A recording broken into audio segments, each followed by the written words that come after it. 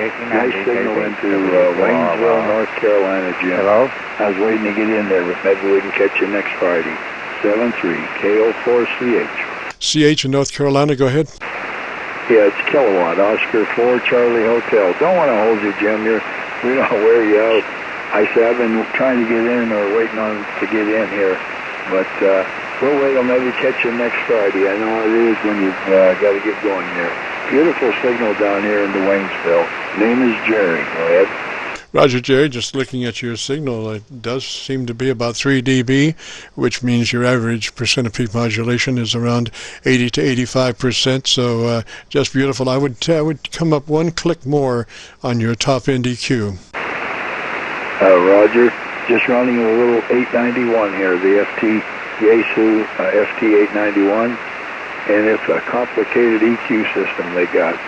I was monitoring myself on my on my ICOM and uh, we'll uh, we'll do that on the highs there, bring the highs up a little bit. Thank you. Using a Heil uh, headset here, by the way, a single earpiece. Uh, it's got the HC6 cartridge in it. Uh, Roger. Okay, uh, I would take that boom mic and straighten it as far out as I could make it, just as far in front of me as I could, and at the very last second, I would do that 90 degree. But I would take it out uh, as far as I could get it in front of me, and then uh, at the, the, very last second, uh, 90 degrees on it, Roger. Yeah, Roger, I just did that while you were uh, talking. Is that better? Yes, sir. I think that uh, going to cut down on some of the plosives for sure, Roger. Roger, Roger. I don't want to take up your time, Jim. You've been very uh, helpful with a lot of the guys here, and uh, it's a good thing you're doing. Appreciate it.